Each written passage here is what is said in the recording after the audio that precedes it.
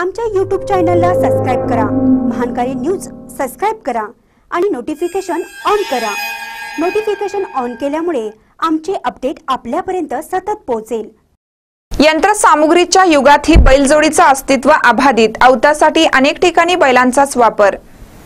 आधुनिक यंत्रसामुग्रीच्या युगात आजही बैलजोडीनं आपलं अस्तित्व राखलं आहे.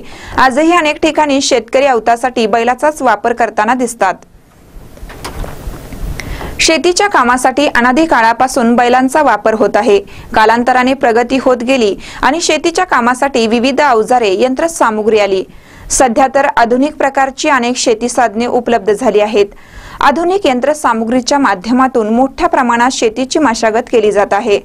मात्र तरीही अनादी काळापासून शेतीसाठी वापरात असलेल्या बैल जोडीनं आपलं अस्तित्व राखलं आहे.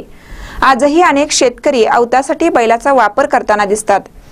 शिरोळ येथील शेती अवजारे बनवणारे बाळासाहेब पाटील आणि काशीनाथ गावडे यांनी आमचे प्रतिनिधी मोहन जमादार यांच्याशी केलेली बातचीत.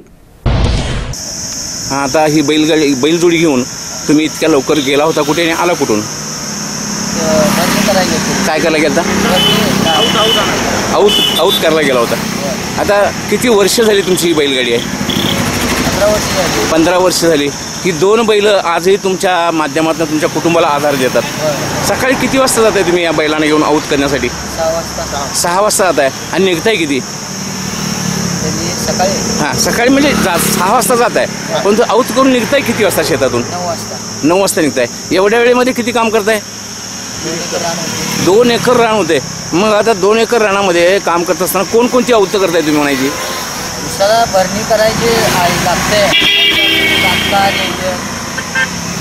जे काही शेतकऱ्याला आज ट्रॅक्टरची गरज आहे त्या ठिकाणी ट्रॅक्टरपेक्षा जास्त गरज आज बैलजोडीची पण आहे. बैलजोडीशिवाय त्याच्या शेतामधली कुठलीही अवतं होत नाहीत मशागत होत नाही. हां, म्हणजे ही बैल आजही या कलियुगामध्ये कली ह्याच्यामध्ये या धावत्या ज्या युगामध्ये ह्या गरजेच्या आहेत. आता या एका एकरचं तुम्ही किती हे घेताय मान या शेतकऱ्याकडनं पैसे घेताय? सहाशे. सहाशे रुपये. म्हणजे दोन एकर करून आला म्हणजे बाराशे रुपये तुम्ही मिळवले. आम्हाला कमीत कमी दीड एकर मारलं की सहाशे रुपये मिळतात बर.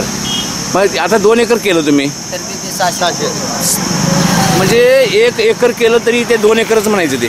एकदा गेलेलं आणि एकदा आलेलं असं त्याला मिळून दोन एकर म्हणायचं. आणि ते सहाशे रुपये फक्त तुम्हाला मिळतात.